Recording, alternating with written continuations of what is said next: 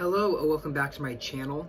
So I just got home a couple minutes ago and I had some packages of books waiting for me. And so I just opened them up and I thought that I would do a, a, book haul video. I haven't done one of these in a while. I have been doing really good with limiting the amount of money that I'm trying to spend on books. I'm trying to buy less books. I'm trying to use my library more, use my access to free library copies through the Libby app and that sort of thing more than just immediately going to buy a book when it interests me. However, um, these are these are the exceptions. I did end up buying a couple um, not as many as I would have bought by now, uh, so I feel very proud about that.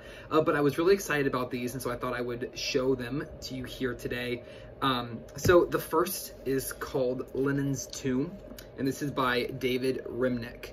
I'm really excited about this. This came out in 1994. Uh, it won the Pulitzer Prize um, about the, the last days, sort of the fall of the Soviet Union. Um, so I'm really excited about this one. I haven't read anything by this author before. Um, I've read a lot of um, really amazing reviews about this book, a really a lot of great praise for it, and so I have very high expectations going to it, and I'm fairly certain it is going to fulfill those for me. Um, the next is uh, called Young Stalin, and this is by Simon Montefiore. Um, I'm really excited about this one as well. I have read um, the first chapter of this or so on a, a free Kindle sample, um, but I'm excited to be able to read the full book.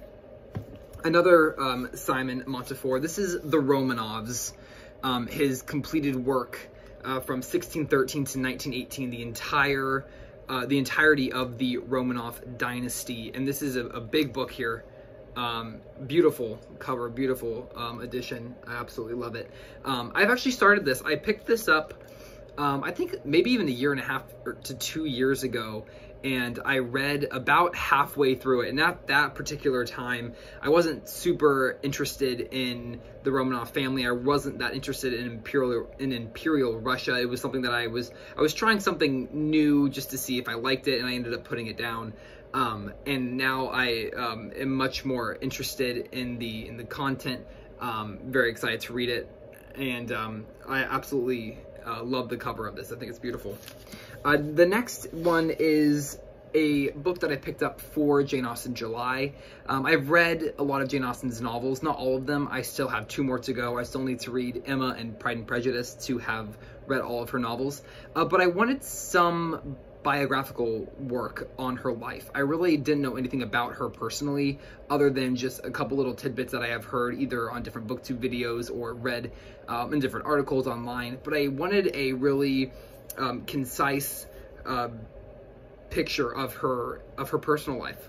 And so I picked this up. This is Jane Austen: A Life by Claire Tomalin. Um, again, it's a it's a fantastic cover. I really love it. Um, and um, this is just a, a, very, very concise, very brief biography um, of Jane Austen. And so I'm really excited to read this this month for Jane Austen July.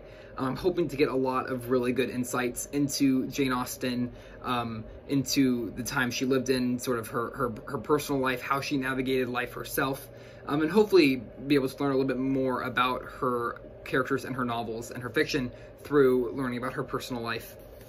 Um, and then last but not least is Brideshead Revisited by Evelyn Hugo. I am so excited about this. I have been wanting to read this book for a really long time. And then just the other day, I saw a video review for it over on uh, Matthew's channel at the Mayberry Book Club, and it really inspired me to pick up my own copy. Um, and I absolutely love this edition too. This is a, a Penguin Classics 1945 edition. It is absolutely fantastic. I love it so much. Um, I didn't realize that I was that I was able to get the the 45 copy when I ordered it online. I was assuming a, a more modern um, trade paperback edition, so I was super excited when I saw um, what I got here. It's absolutely beautiful. So that is the last of the book haul. Super short video, concise, um, really short, uh, but I just wanted to show these. I was super excited about them, and I hope you enjoyed. Thank you so much for watching. Um, if you would like to leave a comment, please feel free to do so, and I will see you in the next video. Bye for now.